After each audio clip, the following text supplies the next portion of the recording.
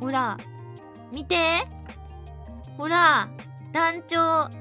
あ、ちなみにこれが噂の、あの、ペコラッチョが、ペコラッチョとさ、コラボした時に言ってた、ペコラッチョの桶に入っている いや、ほんとね、ちょっと、あれな、リビングに、あの、飾ってあって、で、ちなみに後ろに、後ろにね、あのー、いより萌えたんからもらったサインだったりとか、そう、いろいろとね、飾ってあるんだけど、ちょっとそこはね、反射しちゃうから、隠してます。